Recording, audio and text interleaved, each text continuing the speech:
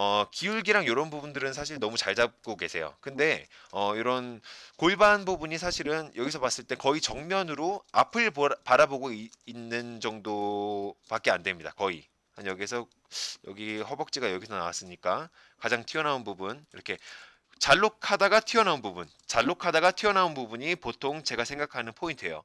포인트. 여기에서 허벅지가 지금 중간에서 이런 식으로 나왔죠. 여기가 중둔근이 이렇게 딱 보이는 게 나와 있는 게 보이시죠? 이렇게. 어. 그럼 여기 기준으로 해서 한 여기쯤이 허벅지 중간이다라고 생각을 하시고 쭉 대각선으로 그냥 있는 그대로 쭉 내려줍니다. 그리고 내려가다가 요만큼 여기에서부터 여기만큼 떨어진 만큼 여기에서부터 그만큼 위치를 했을 때 여기에서 옆으로 직선을 쭉 연결을 시켜주시면 얘가 골반의 크기예요. 이렇게 생각하시면 되세요. 근데 얘는 지금 정면으로 서 있는 캐릭터입니다. 어, 그냥 거의 정면으로 서 있어요. 일단 도형 드로잉도 어, 측면의 도형을 봤을 때는 이런 식으로 측면의 도형을 그려 그리게 제가 말씀을 드렸습니다. 그리고 이 상태에서 약간 위쪽으로 올라가면 직각으로 이렇게 올라가는 거예요. 직각으로. 그리고 약간 약간 각이 생기면 그리고 이 상태에서 조금만 뒤쪽으로 이런 식으로 밀려나는 겁니다. 어, 이렇게요. 요 정도예요. 근데 이게 각도가 약간 옆쪽으로 이렇게 많이 벌어졌죠. 약간 많이 벌어졌죠. 거의 어 요쪽 면 약간 대각선 방향으로 서 있는 듯한 느낌이 들도록 이렇게 묘사를 해주셨습니다. 근데 이 사진 같은 경우는요, 잘 비교를 하셔야 돼요. 이 그림을 봤다가 다시 이 사진을 봤다가요, 계속 반복해 보세요. 어떤 부분이 내가 틀리게 그렸는지 눈으로 왔다 갔다 왔다 갔다 해보세요. 자, 어떤 부분이 틀렸는지 감이 오시나요? 자, 일단 위에서부터 차례대로 한번 내려가 보도록 할게요. 자, 여기가 어깨 부분이고요. 그리고 어깨 부분에서 어 뭐 이렇게 쇄골까지는 뭐 이렇게 정상적으로 내려왔다라고 얘기를 하겠습니다. 자, 근데 문제가 되는 건 팔 부분부터죠. 팔 부분이 너무 짧아요. 약간 왜냐면 이 사람은 거의 일직선으로 팔을 내리고 있는데 약간 요 도영아 캐릭터는 근데 도영아 묘사는 굉장히 잘해 주셨어요. 네, 이거는 어 이거는 탓하는 게 아닙니다. 도영아 묘사는 잘해 주셨어요. 왜냐면 요 캐릭터는 지금 그 인체의 그 이렇게 원기둥의 도형화가 이런 식으로 적용이 돼 있어요. 그냥 일자로 일자로 돼 있어서 정면으로 내려가 있어서 도형 원기둥이라는 느낌이 잘 안 들어요. 그냥 직사각형이다라는 느낌이 들 정도예요. 근데 이 부분을 이런 식으로 들어 올려 주셨기 때문에 약간 얘가 팔을 위쪽으로 들어 올렸다라는 느낌이 들죠. 그리고 심지어 너무나도 정확하게 이렇게 도형의 원기둥의 방향성까지 정확하게 이렇게 어, 요만큼 올라갔다라는 방향성까지 너무나도 정확하게 묘사를 해주셔서 일단은 참고를 하고 있는 그림하고는 좀 갭이 생겼습니다. 요 부분부터요. 자, 일단 얘가 아래쪽으로 그냥 툭 떨어져야 된다라는 부분이 있죠. 그리고 얘도 역시 마찬가지예요. 딱 거의 팔을 몸통이랑 딱 붙인 상태로 아래쪽으로 툭 떨어뜨렸죠. 그러니까 얘네 둘 팔 길이는 어떻게 보면 축약이 안 들어간 상태라서 그냥 똑같습니다. 축약이 들어간 상태라면 얘가 약간 한 요 정도 들은 상태라면 이렇게 정면으로요. 한 요 정도까지 이렇게 들어 올려지겠죠. 근데 이게 아니라 둘 다 똑같이 정면을 보고 있는 상태니까 그냥 둘 다 팔의 길이는 똑같죠. 그러면 얘가 이만큼 떨어진 만큼 얘도 역시 요만큼 떨어져야 된다라는 결론이 나오네요. 그렇죠? 자, 좋습니다.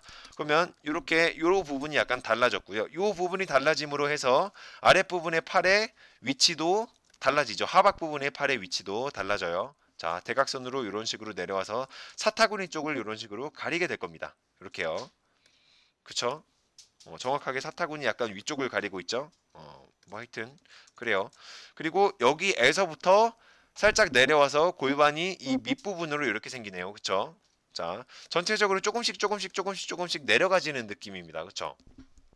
이런 식으로 이쪽 봤다가 이쪽 봤다가 이쪽 봤다가 이쪽 봤다가 계속 왔다 갔다 하셔야 돼요. 그러니까 처음에 그림을 연습을 하실 때는요. 일단 정확한 사진을 보고 연습을 하는 단계에서는 최대한 그냥 사진이랑 똑같이 그려야 되겠다라는 생각을 하시면 되세요. 대신에 도형화로 그림을 그리다 보면 어느 정도는 어, 차이가 생기고 어느 정도는 갭이 생기겠죠. 그래도 전체적인 어떤 비율이나 어, 어떤 그 골격의 틀은요 그냥 그대로 가야 된다라고 생각하셔야 됩니다. 아셨죠? 어. 그리고 어, 항상 말씀을 드리는 부분 자, 이 부분은 항상 말씀을 드리는데요. 자, 여기서 동그라미를 그려서 바로 아랫부분으로 툭 떨어졌죠. 이렇게. 자, 제가 이 부분도 계속 말씀을 드리고 있어요. 자, 허벅지 부분도 동그라미를 그려서 바로 아랫부분으로 툭 떨어지고 있죠. 바깥쪽이. 안쪽은 툭 떨어져도 상관이 없어요. 안쪽은 뭐 어차피 안쪽에 어, 좀 더 추가 묘사로 실제 묘사를 할 때 그려주면 상관이 없으니까요. 근데 바깥쪽은 지금 눈에 딱 보기에도 바깥쪽으로 살짝 올라가서 이런 식으로 내려가는데 여기서는 일자로 내려가잖아요. 그럼 실제 묘사를 할 때는 또 따로 이렇게 그려줘야 되는 수고가 생기잖아요. 그쵸? 그러니까 이런 부분을 최소화시키기 위해서 일단은 안쪽은 직선으로 쭉 그리고 이렇게 그리고요. 그리고 바깥쪽은 요 허벅지의 흐름을 따라서 그냥 바깥쪽으로 살짝만 이렇게 살짝만 바깥쪽으로 요 부분은 안 그리고 살짝만 띄워주자는 겁니다. 어. 허벅지 전체적인 크기를 감안하자는 거예요. 어, 아시겠죠? 자, 그리고 종아리 부분도 역시 마찬가지입니다. 동그라미를 그리고 어, 대각선으로 이렇게 선을 꺼요. 약간 안쪽으로 들어간 이렇게 대각선 동그라미보다 이렇게 선을 그은 다음에 바깥쪽을 이렇게 이 부분을 띄워주자는 말입니다. 이렇게요. 얘네들을 옆으로 꺼내 볼게요. 아이고 아이고 왜 둘 다 꺼내시니? 자, 요렇게 요렇게 띄워지도록 이렇게 띄워주도록 만들어 달라는 얘기예요. 어, 자 그렇게 어려운 거 아니죠? 좋습니다. 이렇게 해야지만 나중에 이거보다 조금 더 다리를 구부리고 있는 사람을 그려야 된다라고 했을 때 창작으로 어떻게 그리실 겁니까? 어떻게? 자, 이거를 자, 요, 여기 부분이 이렇게 떨어져 있다. 떨어져 있다. 우리는 항상 창작을 했을 때를 감안을 하셔야 됩니다. 연습을 하실 때에도. 그래서 머릿속으로 계속해서 공식을 만들어내야 돼요. 어떤 식으로 얘가 이렇게 메커니즘이 돼 있으니까 얘를 어떤 식으로 공식을 만들면 이거보다 조금 더 움직였을 때 내가 그려낼 수 있겠구나. 이거보다 조금 더 일어서 있을 때 이런 느낌이 돼서 내가 그려낼 수 있겠구나. 혹은 얘보다 가슴이 조금 더 커질 때 이런 느낌이 돼서 내가 그림을 그려낼 수가 있겠구나. 이런 부분들을 생각을 하셔야 됩니다. 얘가 여기에서 팔을 위쪽으로 들어 올렸을 때 이런 식으로 내가 그려낼 수가 있겠구나. 이런 생각을 하시면서 자 어때요? 이렇게 뭔가 빨간색으로 뭔가 이 위치에서 바로 도형화 드로잉을 통해서 어깨랑 새로운 그 가상의 팔을 만들어줬어요. 자 어색한가요? 안 어색하죠? 왜냐면 어, 팔을 도형으로 단순화시켜서 해석을 한 다음에 그 단순화된 도형을 움직였기 때문이에요. 그렇기 때문에 어색하지가 않은 겁니다. 어, 최대한 단순하게 해석을 할 필요가 있어요. 자, 이 상태에서 약간 더 주저앉았다라고 생각을 했을 때 축약이 적용이 돼서 이렇게 동그라미 두 개가 이렇게 붙는다라고 말씀드렸었죠. 자, 이 상태에서 축약이 적용이 돼서 조금 더 앉았다라고 하면 얘가 위쪽으로 더 올라가겠죠. 그쵸? 그럼 여기에서 자, 이렇게 뭔가 방향성이 만들어집니다. 방향성은 그 골반의 중간에서부터 이런 식으로 만들어져요. 자, 그러면 여기서부터 한 얼마큼 올라갈 것인가, 한 요만큼 올라간다라고 얘기를 예를 들어 봅시다. 그러면은 지금 여기에서는 관절 골반 동그라미가 한 요쯤에 있죠. 이만큼이나 차이가 나죠. 근데 얘를 두 개를 붙여버리는 거예요. 거의 가깝게. 요 정도로. 자, 그리고 어 이쪽은 안쪽으로 이렇게 카메라 쪽을 향하고 있고 이쪽은 바깥쪽으로 향하고 있다라는 생각으로 이런 식으로 어, 똑같은 위치지만 이렇게 하나는 안쪽으로 하나는 바깥쪽으로 이렇게 만들었습니다. 얘보다 약간 더 앉아있는 듯한 느낌을 만드는 거예요. 혹은 다리를 안쪽으로 약간 이런 식으로 좀 들이고 있으니까요. 얘도 역시 마찬가지로 조금 안쪽으로 한번 들여볼까요? 어, 한 요 정도로 약간 지그재그한 느낌으로 한번 어, 들여보도록 하겠습니다. 한 요 정도로요. 자, 조금 더 드렸어요. 이 상태에서 한번 어, 제가 소개해드리고 있는 그로우툰 아카데미에서 배울 수 있는 자 도형화 드로잉으로 한번 묘사를 해보도록 하겠습니다. 여긴 직선, 그리고 여기는 바깥쪽으로 살짝 볼록. 오케이, 그렇죠? 그리고 여기는 직선 이렇게, 그리고 바깥쪽으로 살짝 볼록 이런 식으로요. 그리고 얘도 약간의 어떤 어, 기울기는 이렇게 살짝 들어가겠죠. 약간 앞쪽으로 튀어나온 거니까요. 얘는 거의 기울기가 한 요 정도로 이렇게 묘사가 되겠죠. 그쵸? 그요 음. 상태에서 안쪽으로 들어가 줍니다. 다리를. 얼만큼 앉을 것이냐? 나는 한 요 정도, 요 정도, 요 정도 앉히게 하겠다라고 하면 한 요 정도로 일단 선을 그어 주시고요. 그리고 바깥쪽 이렇게 안쪽 안 그리고 그리고 얘도 어, 여기에서 발을 만든다라고 했을 때 발을 만들었습니다. 여기에 어, 관절 동그라미 그리고 어, 여기에 이렇게 신발을 그렸어요. 신발을 그렸어요. 이 상태에서 얘랑 똑같은 위치에 땅을 딛게 만들려면 자 여기서 바깥쪽으로 이렇게 벌려주면 되겠죠. 이런 식으로요. 자 그리고 똑같이 이렇게 대각선 여기 안 그리고 대각선 안 그리고 자 이렇게 그리신 다음에 동그라미 그리고 안쪽으로 이만큼 이런 식으로 아래쪽으로 내려갔으면 다리가 안쪽으로 이렇게 향하겠죠? 자 이런 식으로 얘가 요 상태 다리일 경우에만 생각을 하시는 게 아니라요. 이대로만 생각을 하시는 게 아니라 얘를 움직였을 때 내가 어떤 식으로 그리겠다라는 거를 생각을 해주셔야 됩니다. 그러니까 항상 그림을 연습을 하실 때는요. 항상 계속 머릿속으로 머리를 계속 굴려야 돼요.